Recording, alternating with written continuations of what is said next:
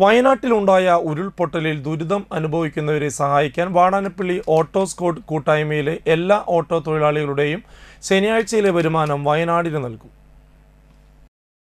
Vadanappally S I Rafeeq ഉദ്ഘാടനം ചെയ്തു. ചന്ദ്രാപ്പിനി മുതൽ ചേറ്റു വരെയുള്ള അറുപതോളം വരുന്ന ഓട്ടോ തൊഴിലാളികളുടെ കൂട്ടായ്മയാണ് വാടനപ്പള്ളി ഓട്ടോ സ്കോഡ്. സെൻട്രലിലെ ഈ ഓട്ടോ സ്കോഡ് ഗ്രൂപ്പിന്റെ ആഭിമുഖ്യത്തിൽ ഇന്നത്തെ ഇവിടെ യാത്രയിൽ കിട്ടുന്ന ഫണ്ടുകളല്ല പൈസകളല്ല. വയനാടിന്റെ മറ്റേ ദുരിതം അനുഭവിക്കുന്ന അവിടുത്തെ ജനങ്ങൾക്ക് വേണ്ടി കൊടുക്കുന്നതിന് അവർ തീരുമാനിച്ചിട്ടുണ്ട് അത് ഇത്രയും എന്താ പറയുക വളരെ ശ്ലാഘനീയമായ പരിപാടിയാണ്.